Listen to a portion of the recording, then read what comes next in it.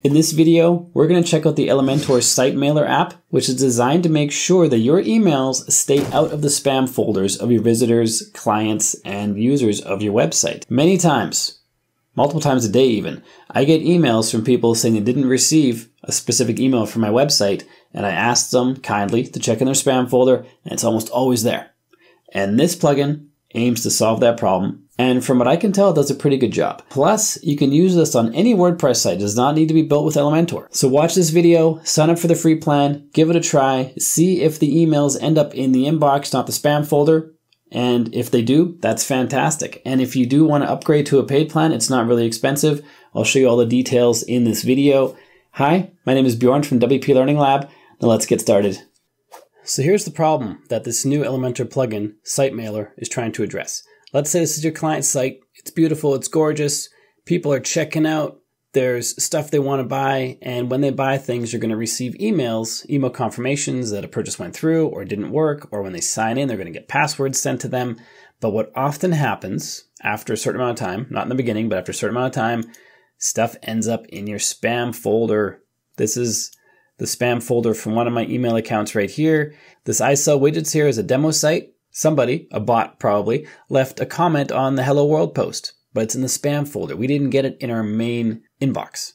Here we have limit login attempts, sending us notification that this IP address is trying to try brute force or guess our password. Also in the spam folder. This might be something you want to know about. It should be in your main inbox. I don't have any examples Here's my login attempts. Oh, there's a whole bunch of login attempts. In this inbox, I don't have any examples of WooCommerce emails being sent into the spam, but they'd go into the same place. But hang on a second. This lady here wants to send us huge amounts of money. How much? $2.4 million. That's great. I can get that right now from uh, Professor Maxwell Brown. That's fantastic. I just got to email all my information to him, maybe my bank account numbers, and login details, and he'll just transfer the money over. That's awesome. I'm going to do this right after I finish this video. Not. I'm kidding. I'm kidding. Don't do this. If you get emails like this, don't do it. Just delete it. Be careful what you reply to and what you believe in your email inbox. But what I believe is that specific emails shouldn't be here. Like this one shouldn't be here. This one shouldn't be here. And that's what the new Elementor site mailer aims to fix. So on the Elementor site, if we go to products, there's one called site mailer.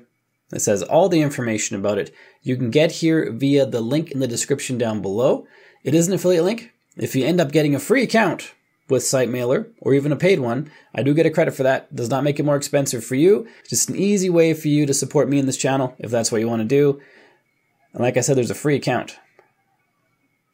If we can get to the pricing.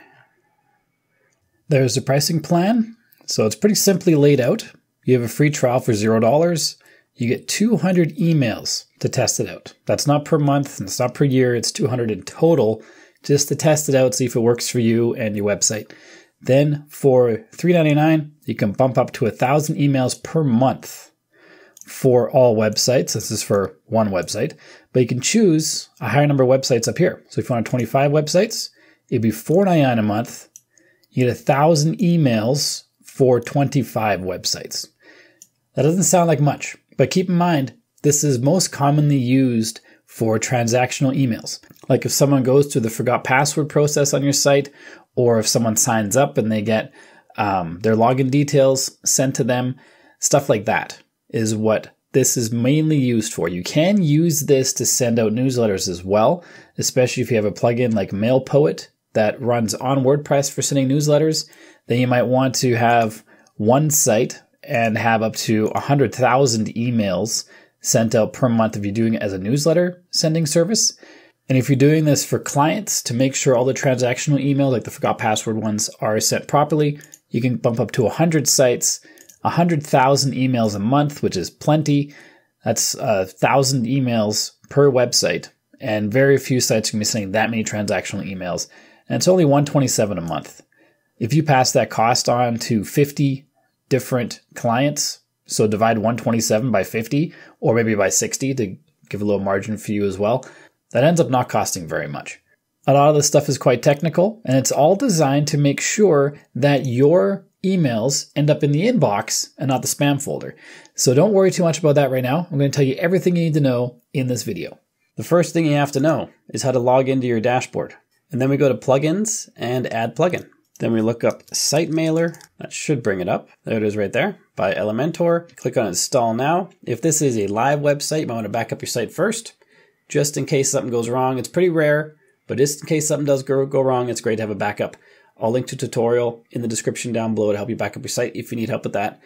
Click on activate once you're ready. And even though this is an Elementor plugin, it does not require Elementor to function. This can be installed on any WordPress site that you have or that your clients have. Here we have to connect to start. So we have to have at least a free account that we get through this page here.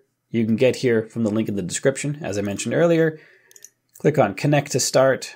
Then we're going to click on connect and continue. You'll see what account level you have, an expiration date in the middle here. And this is our beautiful email address out of the box that emails are going to be sent from. Luckily, we can update this to be our own domain, meaning for this website, it would be websitedevxyz.com. Click on Got It once you, you've got it. And this is the dashboard right here. It's pretty simple, but it shows you all the data you need. We're going to send a test email or two in a little bit, but first we're going to go to General Settings, and over here we can customize some things. So the email that's received by your customers, your website visitors, the header is going to look like this by default. It's going to say site mailer, crazy email address, and then to you, which is the person who filled out your form or signed up for your, to your website or whatever. So up here, you can change the name. It updates in real time right there. Reply to email. This is the email that when they click reply in the email that they receive, this is the email that's going to be auto-filled to send the reply to. So make sure it's a live email. Otherwise, the email will bounce and your customers won't have a great experience. And up here, is where we have to change our domain. Click on Add Custom Domain. Gives us a few warnings. We've got to change DNS records. It can take up to 72 hours.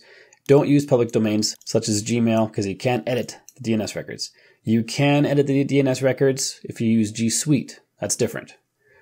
Okay, let's do it. In this first field, we have to enter the domain we want to authorize. I'm going to use this website's domain. Let's copy that and paste it in there. Let's erase these things. It doesn't like those there. So it's just the domain name dot and the TLD, which is the information after the dot. Add the sender domain you want to authorize to send emails, support at this domain right here.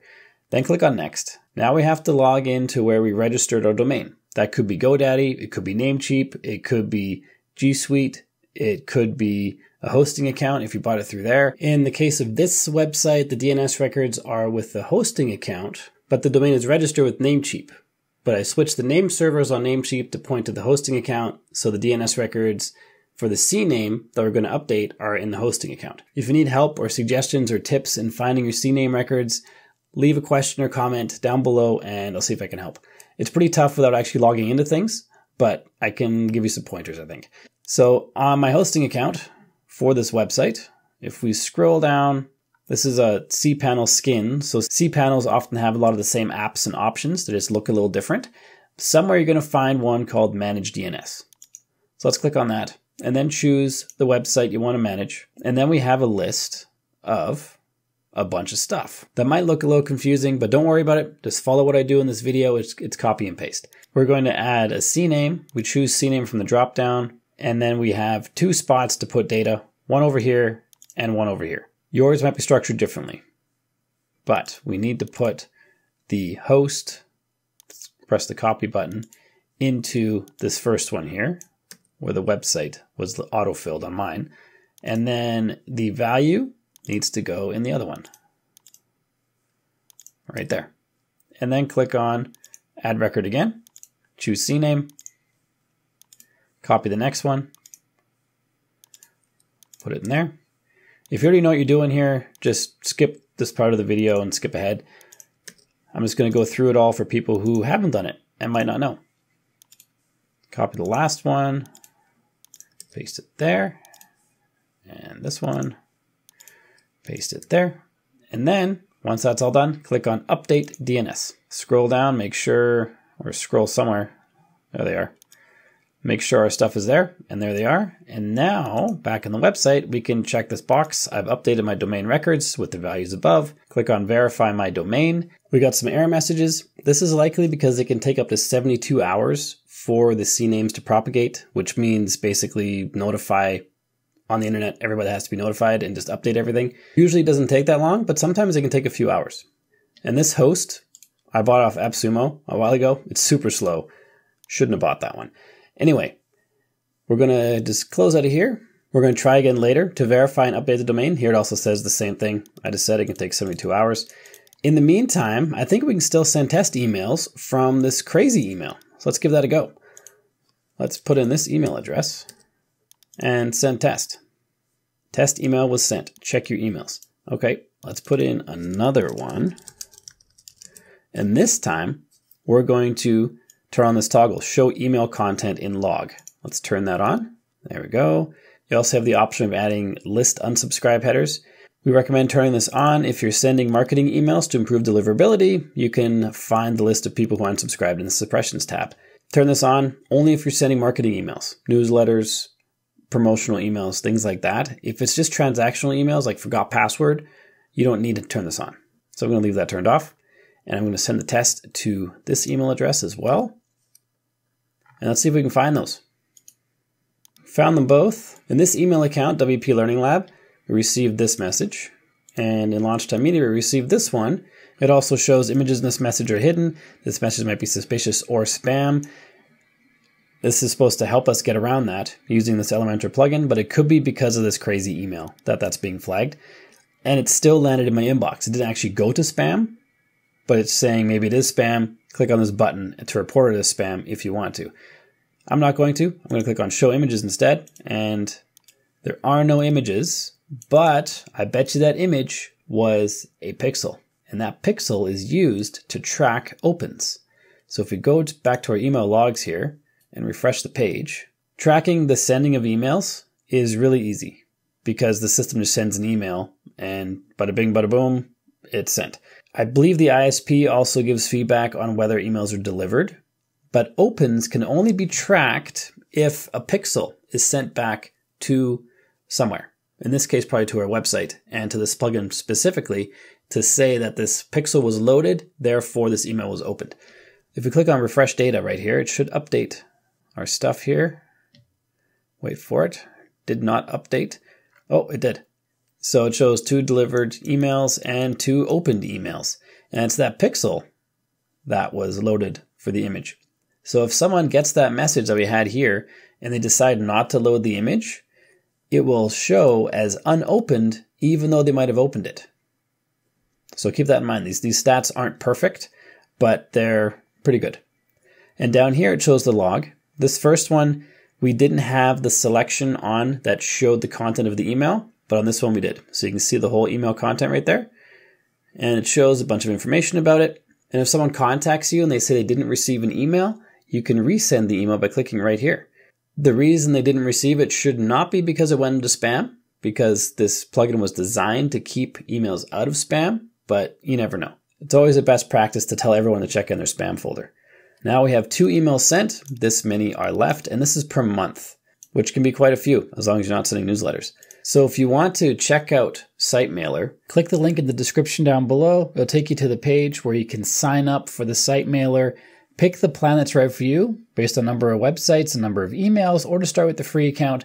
If the free account is enough for you, that's fantastic, but keep in mind these 200 emails do not renew, so those are going to run out eventually and three ninety nine a month for a thousand emails. That's if you pay yearly. It's four ninety nine if you don't pay yearly. For a thousand emails a month, that's plenty for most websites. And if you end up getting a free account and you went through my link in the description, if you upgrade some point in the future, I will get a credit for that. It does not make it more expensive for you, but it's a super easy way to support this channel if you like what I do. And if you end up doing that, I really appreciate it. And before we finish off this video, we want to make sure under general settings that we verify our domain so we can send from our own custom domain. So I finally got a domain verified, but it's not the one you're expecting. It's not the one that is this website. It's wpspeedify.com. I think the problem is the El Junco host that I bought on AppSumo has some stuff missing. It's El Junco. Maybe if I contact their support, they'll be able to figure out what the issue is. I have this domain hosted on SiteGround, and the system looks pretty much the same. Or no, it doesn't. It looks different, but it has all the same stuff. So in SiteGround, you go to the site, you go to domain, then DNS zone, click on CNAME, and then you add the first value from the SiteMailer plugin here, the second value here, and it creates these three CNAMEs. And it verified within 10 minutes. And this is how it looks now. So we have this domain that we're sending from. This is the email that we chose. And this is how it'll look when you receive emails. So hopefully you have an easier time than I did for getting this verified. And I'm pretty sure it's the host issue. So if you have a good host, it shouldn't be a problem. And if you got value from this video, make sure to hit the like button to let me know. And then click subscribe and ring the bell so you don't miss any future videos. And then check out the video that's on the screen right now, which is for the Elementor Image Optimizer plugin. It also works on all websites. There's also a free plan. Check out that walkthrough. Check out the free plan see if it works for you.